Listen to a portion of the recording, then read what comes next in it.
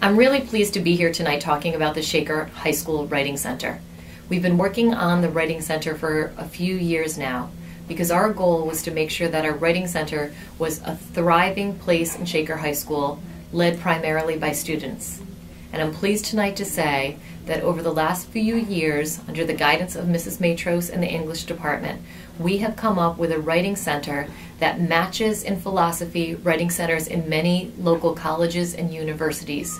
Our students here tonight have really worked very diligently in order to make the Writing Center the place that it is today and the place that it will become for tomorrow. It is with pride that I present to you Mrs. Matros and the students who have made our Writing Center vision a reality.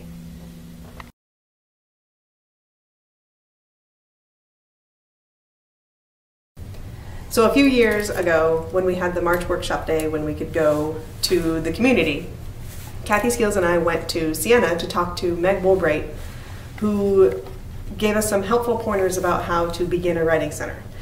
And the first thing we needed was a space, which we got, um, and the second thing we needed was a plan, um, which the Writing Center Committee, uh, formed of certain members of the English department, um, came up with, and the students who were in the Writing Center course first semester really brought to life. Um, so first semester, the students in that course did a lot of research about what a writing center is and what a writing center is not, and wrote proposals about how a writing center, um, in theory, could become a reality at Shaker High School.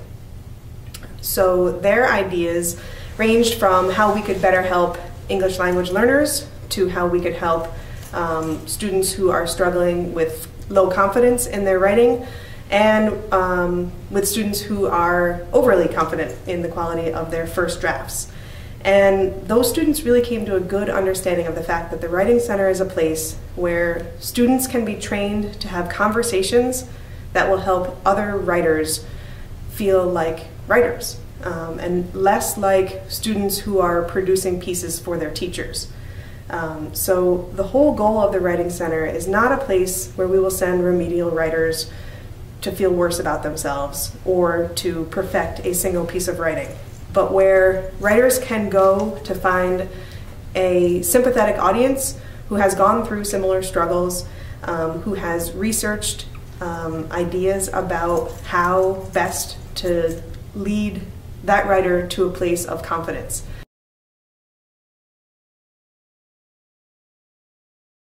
A writing consultant is a person who has been trained in some of the basic foundations of um, grammar and sentence structure, um, but more importantly, a person who has been trained in some basic foundations about conversation. Um, so a writing consultant should be a student who is open to listening to a writer who has ideas. Ideally, that person could offer some expertise about how that idea could transfer into writing, but more importantly, a writing consultant knows how to ask the right questions. A writing consultant knows how to say, I see that you have an idea here. Can you tell me more about it? Can you give me some examples about it? Or a writing consultant knows how to say, I see that you have some examples that you're writing about this topic. Can we talk a little bit about what your idea is? And to help that writer really feel like the piece of writing becomes an expression of an actual idea that that person wants to convey. And this is why it's so perfect that this happens from student to student and that this is a peer-centered writing center. This is like your thesis? Kinda, yeah. All right, so- Yeah, actually, yes, it is. Could you read, could you read it aloud? Um, in order to establish the power and strength of Macbeth, Shakespeare uses metaphors and similes to describe the brutality and assertiveness that he brings as a leader. So here you're focusing on metaphors and similes. Do you have examples of like what metaphors and similes he uses, or? Yeah, like there's one part that he says like um, the captain talks about how Macbeth unseamed a person from the nave to the chops. Mhm. So like from like the belly button up to the face. Uh-huh. So he like stuck his sword in him and pulled it up to his face. So that's pretty brutal. So why don't you like, why don't you focus in on those two points about how he uses metaphors and similes to describe the brutality, like focus in on a metaphor or a simile that like really relates to that whole nave to the chops yeah. kind of thing, and to kind of zero in on what you need to write, what you need to write about.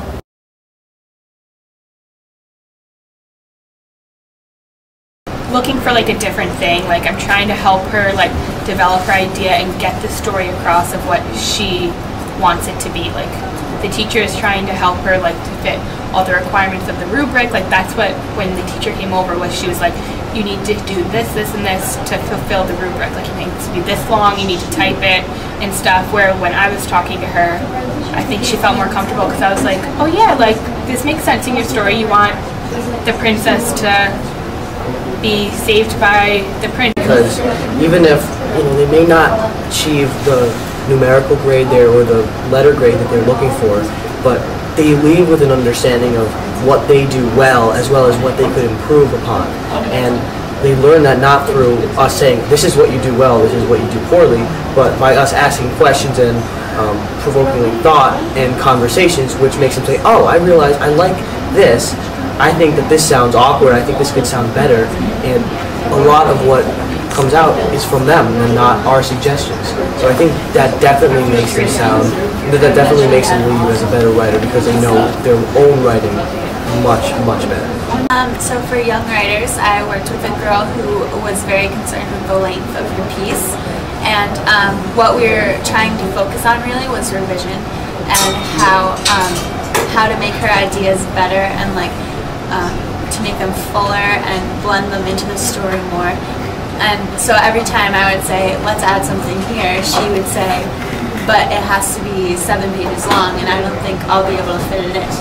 And so um, I said, you know, just try and focus on your idea for now and then later we'll go back and cut things out and like tighten things up and just make it all fit. And that ended up working out, but every single time I said, let's add something, she would be concerned with the page length. So um, one of the things we're doing in the Writing Center is just trying to focus on making the ideas better and making like better writers as opposed to um, like focusing on like rubric guidelines like font and double spacing and things like that. So. Make sure the teachers are aware of that and make sure the teachers are accepting of this idea so they can say, look, if you're looking for extra help other than my opinion, why don't you try this? It might help you quite a bit. And if we could get that type of dynamic through um, the teachers at Shaker, it would definitely make a difference. Uh, this past year, um, I had two students in my 11th grade Regents class who were involved in the pilot Writing Center tutoring um, project. And both of those students demonstrated tremendous growth from that experience. Um, you know, initially I was a little bit skeptical. I guess not, not, not skeptical so much as unsure about how the whole thing would work. And then as the, um, by about the second quarter, I would say, as, as, they became more and more engaged in the project and involved in research and um, developing as peer tutors, I began to see a change in both of them. And it was really remarkable to see how much they progressed, both as writers and as, I guess I would say, more confident, assertive leaders in the classroom. The other thing was that I was able to use a writing center for some of my own, uh, my other weaker students, not tutors, but just students in my classes. And it is, quite frankly, a wonderful way to provide differentiated instruction. Students, you know, who, both for students who are extremely, you know, um, who are somewhat reluctant or struggle as writers, and for students who excel at writing, it provides an opportunity for them to work with peers in a smaller, more, I guess, accessible, less threatening environment in the classroom and really work towards specific writing goals and begin to evaluate themselves as writers in an arena that's I think much more effective than a large classroom of 29 students where you know they might get 2 minutes of the teacher's time. It's a different vibe when a student has to have an idea and prove it and support it for a teacher because the student is to some degree on the defensive. And when that student is explaining himself or herself to another student, there's nothing that comes out of it in the end that's evaluative or that's judgmental. It is really just about clarity of the expression of the idea. And the conversation goes to a more pure place of this is what I want to say, This is how I want to say it. Can you help me get to that place? And if our writing consultants can be good listeners and can be open minded human beings, then our writing center will be successful.